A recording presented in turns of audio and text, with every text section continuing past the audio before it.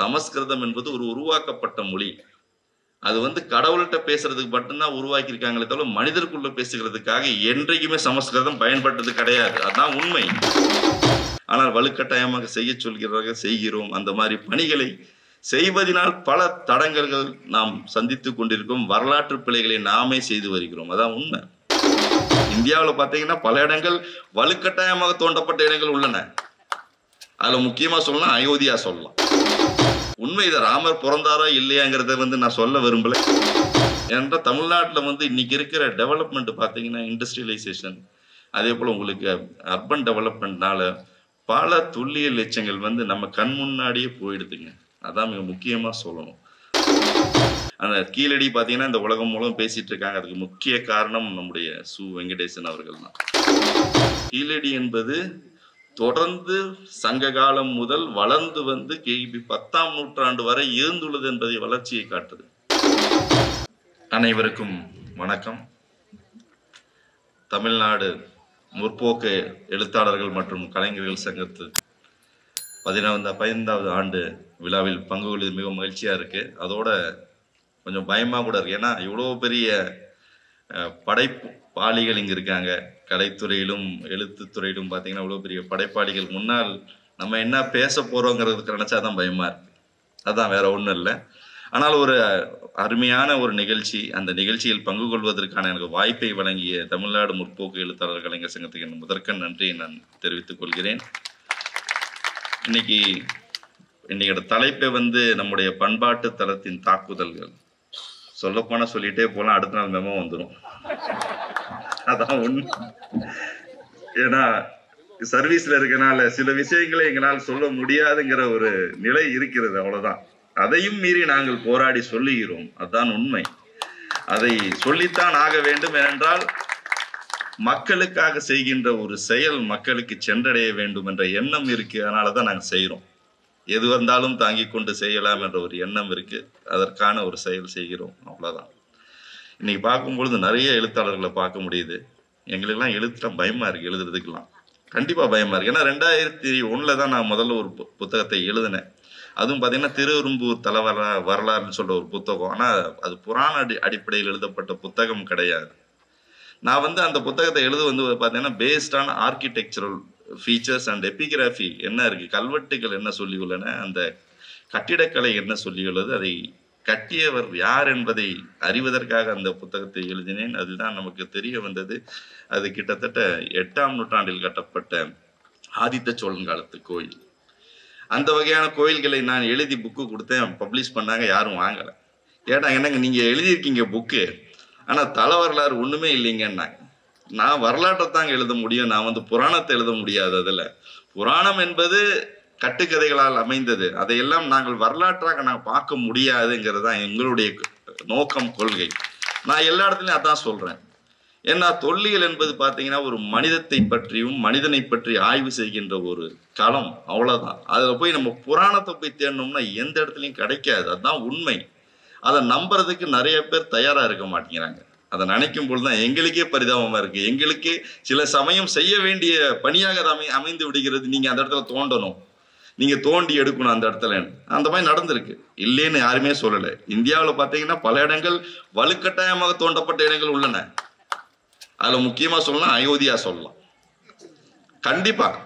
அயோத்தியால உண்மை இதை ராமர் பிறந்தாரா இல்லையாங்கிறத வந்து நான் சொல்ல விரும்பல. இப்பதான் நம்ம பிள்ளையன் ஐயா வந்து சொல்லிட்டு போனார் முன்னூறு ராமாயணம் இருக்குன்னு.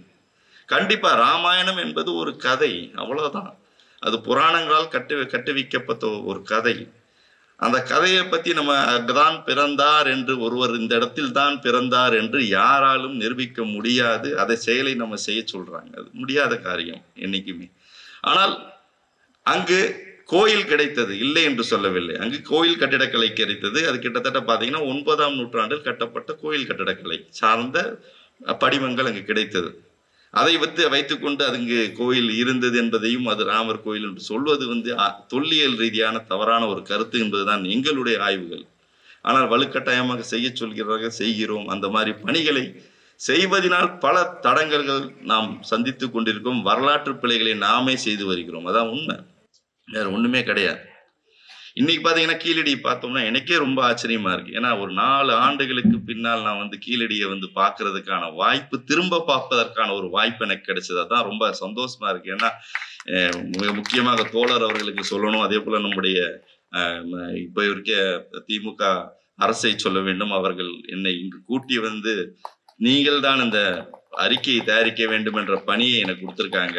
அதற்கு நான் என்றுமே நடுவே நன்றி கடமைப்பட்டேன் ஏன்னா ஒரு நாலு வருஷத்துக்கு முன்னாடி தோண்டி போ தோண்டி எடுத்த பொருட்களை நான் இன்னைக்கு தூசி தொட்டி பா பார்க்கும் பொழுது எனக்கே ஆச்சரியமா இருக்கு. அவ்வளவு பொருட்கள் எங்களிடம் இல்லை இருக்கின்றன. கிட்டத்தட்ட பானைகளே பார்த்தீங்கன்னா இப்பதான் அவர் சொல்லிட்டு வந்தேன் சார்கிட்ட. ஒன்றரை லட்சம் பானை இருக்கு சார். நாங்க எடுத்ததில்லை அவ்வளோ பொருட்களை எடுத்துள்ளோம்.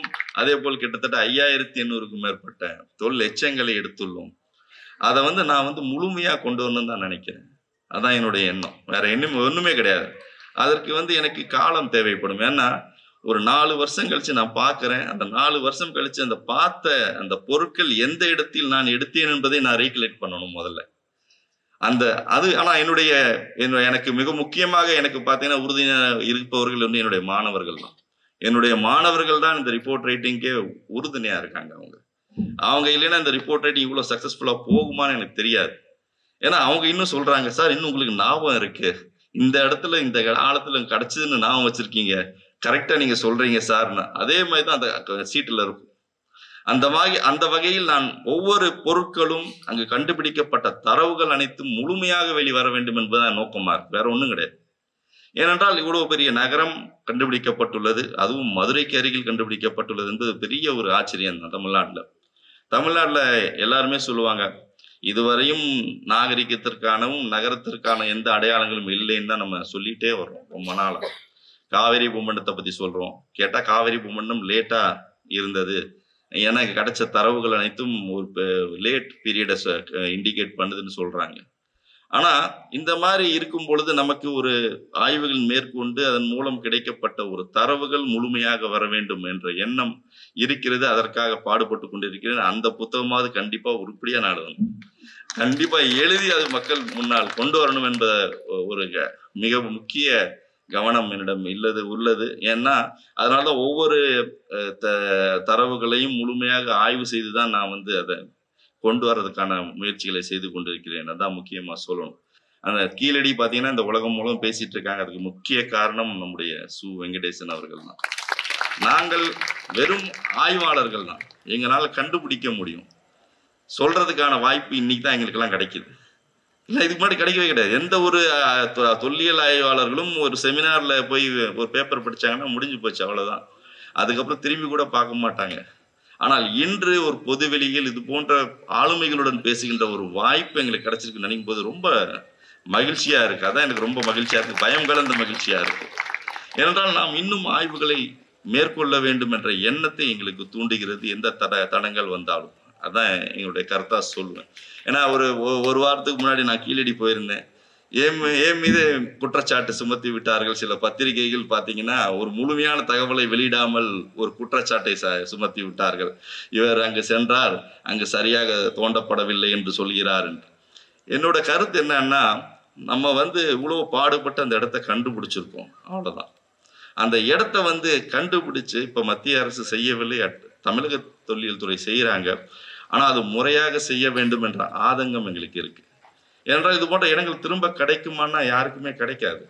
ஏனென்றால் தமிழ்நாட்டில் வந்து இன்னைக்கு இருக்கிற டெவலப்மெண்ட் பார்த்தீங்கன்னா இண்டஸ்ட்ரியலைசேஷன் அதே போல் உங்களுக்கு அர்பன் டெவலப்மெண்ட்னால பல துல்லிய எச்சங்கள் வந்து நம்ம கண் முன்னாடியே போயிடுதுங்க.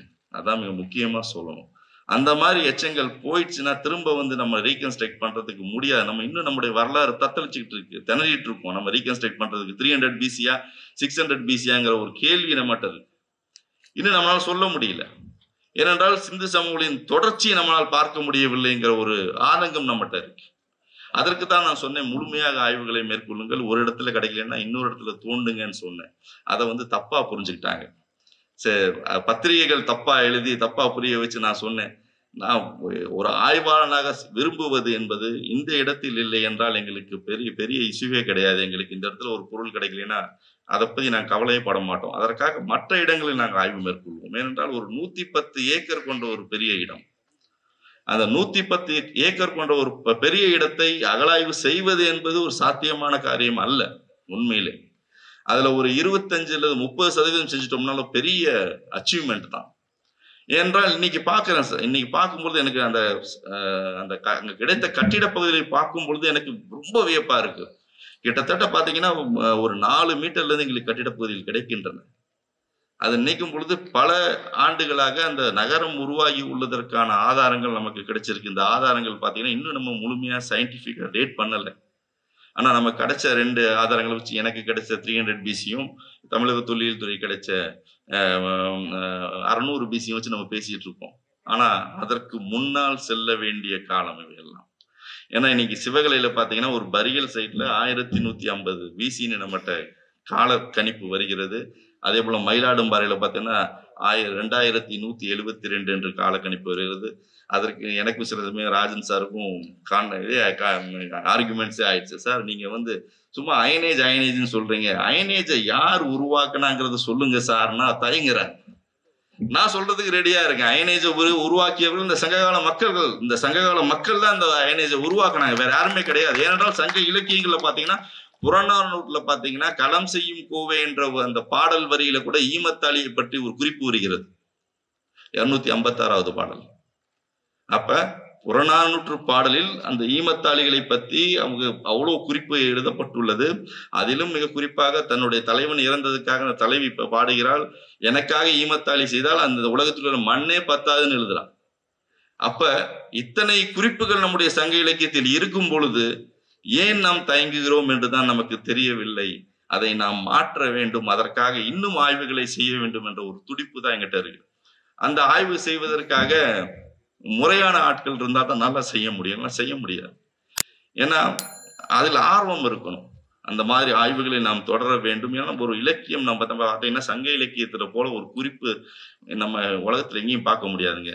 ஒரு மனி மனித இனத்தை பற்றி பேசுகின்ற ஒரு இலக்கியம். புராணத்தை பற்றி பேசுகின்ற இலக்கியம் அல்ல. கதை கிடையாது. அது ஒன்றும் எந்த ஒரு இறை இறை நம்பிக்கை சார்ந்த இலக்கியம் கிடையாது.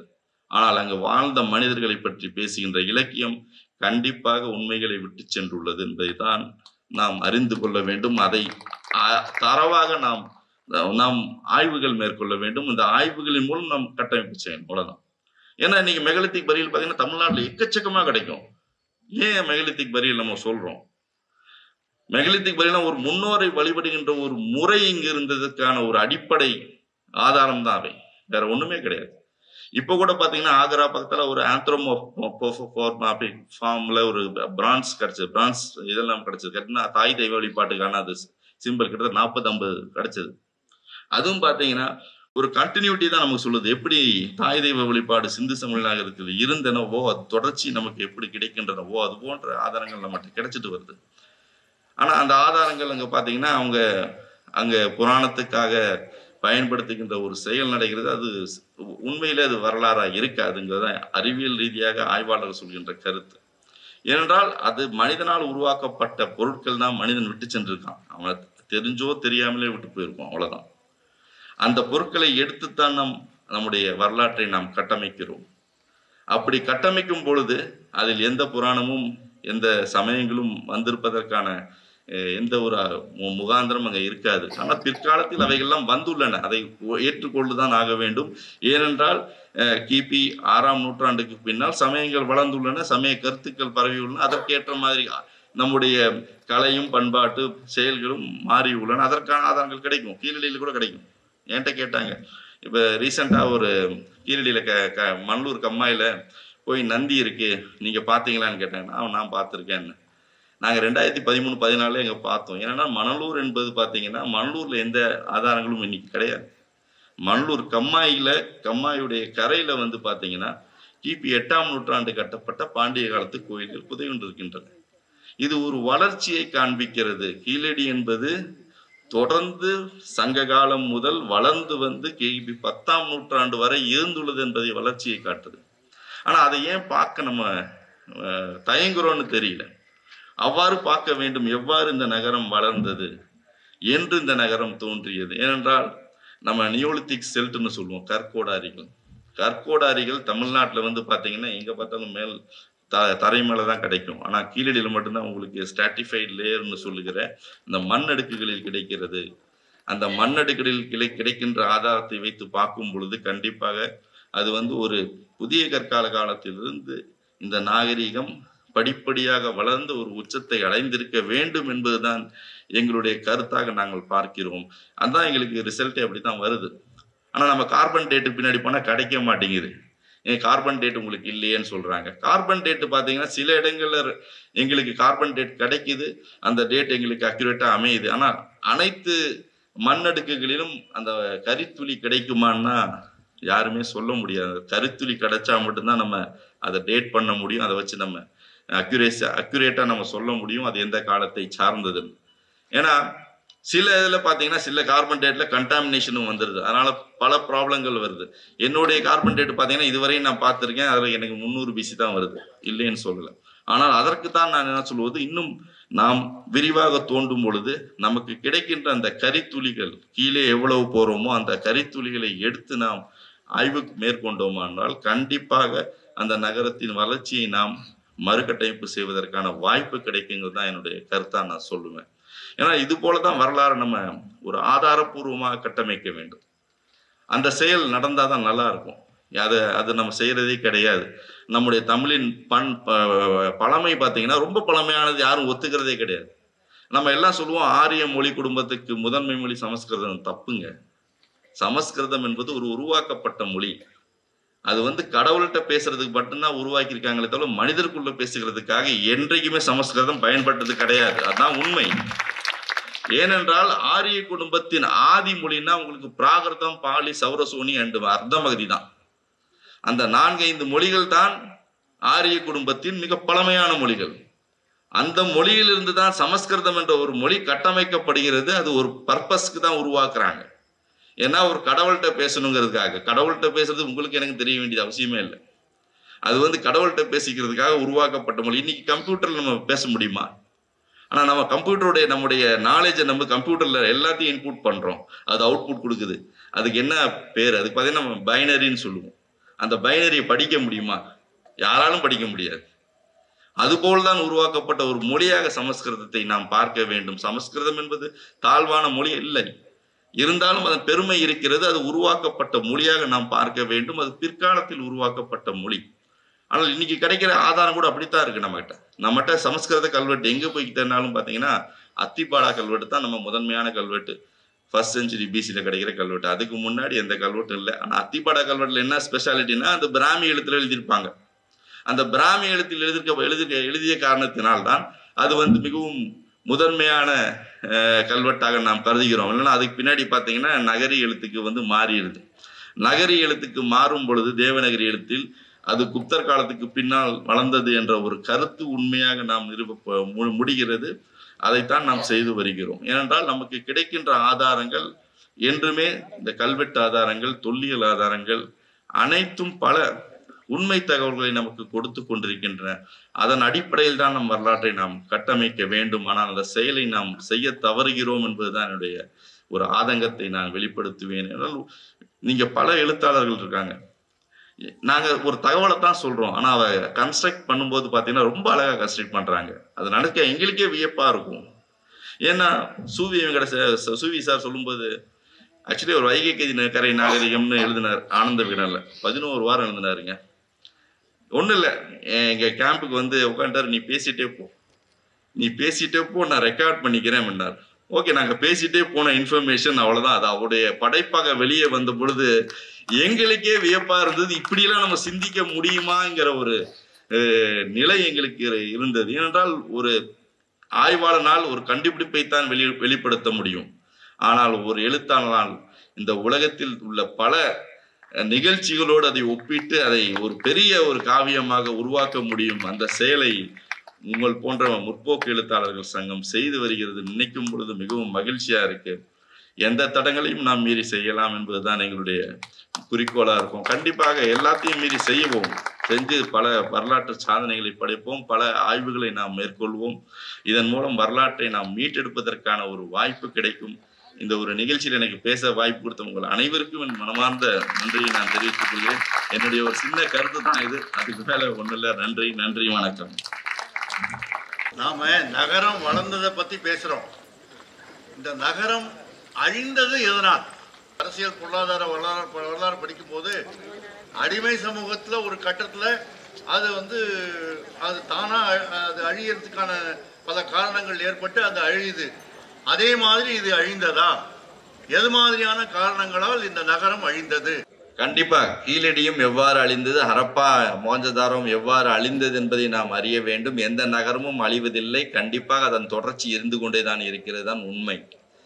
எந்த நகரமும் இந்த இடத்துல இன்னைக்கு பாத்தீங்கன்னா இன்னைக்கு இருக்க சென்னை வய சென்னை பாத்தீங்கன்னா ஒரு முன்னூத்தி தொண்ணூறு வருஷம் முன்னாடி தான் சென்னை இன்று உருவாக்கி இருக்கிறது அது எத்தனை நாள் வரையும் இருக்குங்கிறது யாராலும் சொல்ல முடியாது.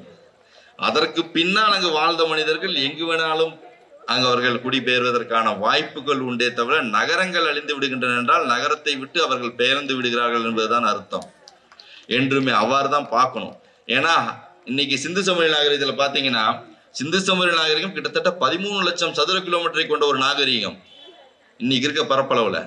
உங்களுக்கு ஆப்கானிஸ்தான்ல இருந்து நம்ம யமுனை உங்களுக்கு தைமாபாத்ல இருந்து நம்ம இமயமலை வரை எடுத்தோம்னா அவ்வளோ பெரிய பரப்புள்ள மக்கள் அழிந்து விட்டார்களா? இல்லை. கண்டிப்பாக அழிவதற்கான வாய்ப்புகள் இல்லை. பல சூழ்நிலைகள் முக மு- முக்கியமாக சொல்ல வேண்டுமானால் தட்பவெட்ப சூழ்நிலைகள் தான் அந்த இடத்தை விட்டு அவனை நகர்வதற்கான வாய்ப்புகளை ஏற்படுத்தி கொடுக்கிறது.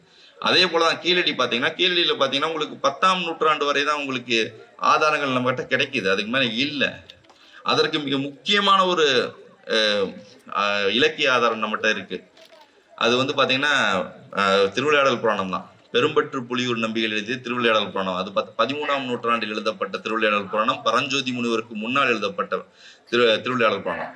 அதில் மதுரை படலத்துல சொல்றாங்க ஒரு இன்று இருக்கிற மதுரை கடம்பவனமாக இருந்ததாகவும் அந்த கடம்பவனத்தை அழித்து மக்கள் அங்கு குடிபெயர்ந்து இந்த கோயிலை அமைத்து வாழ்ந்து கொண்டு வருகிறதாக ஒரு புராண செய்தி தான் இருக்கு. ஆனா அதற்கு முன்னால் மதுரை என்பது அந்த மணலூருக்கு பக்கத்தில் தான் இருந்திருக்குங்கிற ஒரு தகவல் அது கொடுக்குது. அது புராணம் தான். புராணத்திலும் சில தகவல்கள் வரலாற்று உண்மைகள் இருக்கின்றன. அதுபோல் நடந்து நடந்திருப்பதற்கான வாய்ப்புகள் உண்டு. அதை நாம் அறிவியல் ரீதியாக இன்னும் அணுக வேண்டும். அதற்கான தொழில்நுட்பங்கள் நம்ம வளர வேண்டும். அப் அப்படி வளர்ந்தாதான் நம்மளால கண்டுபிடிக்க முடியும். இங்கேருந்து எங்கேயும் யாருமே அழிய மாட்டோம். ஏனென்றால் காலரா வரும். காலரா வந்து எபிடமிக் வரும் பெண்டமிக் வரும். ஆனால் யாருமே அழிஞ்சது கிடையாது இல்லையா? உண்மையை பார்த்தீங்கன்னா அங்கே இற இறப்பவர்கள் உண்டு. ஆனால் அங்கிருந்து ப குடிபெயர்வர்கள் தான் அடுத்த நாகரிகத்தை உருவாக்குகிறார்கள் அதை தொடர்ச்சியை உருவாக்குகிறார்கள். அதனால தான் நீங்க நம்ம சொல்லிட்டு இருக்கோம். சிந்து சமவெளி நாகரிகம் முன்னரையா நம்முடைய கீழடி நாகம் முந்தி முந்தியதான் கேட்கும் பொழுது சொல்லுவோம் சிந்து சம சமவெளியின் தொடர்ச்சி தான் கீழடி என்பது. ஏனென்றால் சிந்து சமவெளியை கட்டமைத்தவர்கள் இன்று அறிவியல் ரீதியாக நிர்வகிக்கப்பட்டுள்ளனர். அவர்கள் ஏன்சியன் ஏன்செஸ்டர் சவுத் இந்தியன் என்பதுதான் மிக உறுதியாக கட்டமைக்கப்பட்டுள்ளது. தென்னிந்திய பழங்குடிகள் தான் இந்த நாகரிகத்தை கட்டமைத்துள்ளார்கள் என்பது டிஎன்ஏ மூலம் கூட நாம் கண்டுபிடிச்சு சொல்லியிருக்காங்க. அப்படி சொன்னபோது அவங்க எங்க போயிட்டாங்க? கண்டிப்பாக அவர்கள் தான் இந்த பக்கம் பெயர்ச்சி இருக்கும். பெயர்ந்திருக்க வேண்டும். அவர்கள் இங்கு மட்டும் குடிபெயரவில்லை. இந்தியாவில் உள்ள பல பகுதிகளுக்கும் குடிபெயர்ந்துள்ளார்கள். அதைத்தான் நம் கலாச்சார ஒற்றுமை மூலமா நம்ம ஐடென்டிஃபை பண்ணலாம். கலாச்சார ஒற்றுமைகளை ஆய்வு செய்யும் பொழுது பல பார்த்தீங்கன்னா இன்னைக்கு பார்த்தீங்கன்னா இந்தியாவில் பல பழங்குடியினர் பார்த்தீங்கன்னா ஒரு திராவிட இனத்தை சார்ந்தவர்களாக தான் இருக்கிறாங்க. அதுதான் உண்மை. அங்கே போய் அவர்கள் மொழி மாற்றம் அடைகிறது. இன்று மொழியை அவர்கள் பயன்படுத்துகிறார்கள். அதே போல் இன்னைக்கு பார்த்தீங்கன்னா வட இந்தியாவில் இருக்கிற உங்களுக்கு பட்டியலினத்தினரோ பிற்பட்டோரோ மிக முக்கியமாக பார்த்தீங்கன்னா மகத் என்று சொல்லுவோம். பீகாரில் மகத் ரீஜனில் போனீங்கன்னா அவ்வளோ ட்ரைபிள் இருக்காங்க. மௌரியா அசோ நம்முடைய சந்திரகுப்த மௌரியரே ஒரு பழங்குடியினத்தை சார்ந்தவர் தான். அப்படி பழங்குடியினர்கள் அப்படி மு- ப- ப- இந்தியா முழுவதும் பரவி உள்ளனர். சந்தர்ப்ப சூழ்நிலைகள் அவர்களுடைய ஆதிக்கத்தின் காரணமாக மொழி இன்று மாற்றம் அடைந்துள்ளதே தவிர அவர்களின் உடல் அமைப்பில் எந்த மாற்றமும் ஏற்படவில்லை. அதைத்தான் டிஎன்ஏ வச்சு டெஸ்ட் பண்ணிட்டு இருக்காங்க. இந்தியா முழுவதும் ஒரு காலத்தில் திராவிட இன மக்கள் வாழ்ந்திருக்க வேண்டும் என்ற ஒரு கருதுகோள் இன்று வரை நமக்கு கிடைத்து கொண்டிருக்கிறது ஆ- ஆதாரபூர்வமாக கிடைத்து கொண்டிருக்கிறது கண்டிப்பாக சிந்து வெளியை கட்டமைத்தவர்கள் நம் மூதாதையர்களாகத்தான் இருக்க வேண்டும். அவர்களின் தொடர்ச்சியை நாம் தேட வேண்டும். தேட வேண்டிய காலம் நமக்கு இருக்கிறது. அப்பொழுதுதான் நான் முறையான வரலாற்றை நாம் கட்டமைக்க முடியும்.